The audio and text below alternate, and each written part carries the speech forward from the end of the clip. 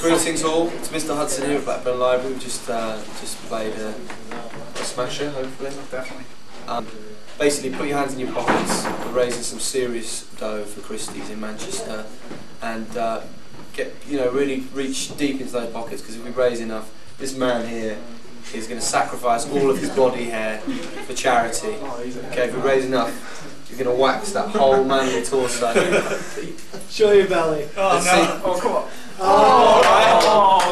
No! There's no- So do what you can. Please raise. Nice. So it's Mr Hudson here at Blackburn Library. Remember to log on to peterlally.com and dig deep, yeah?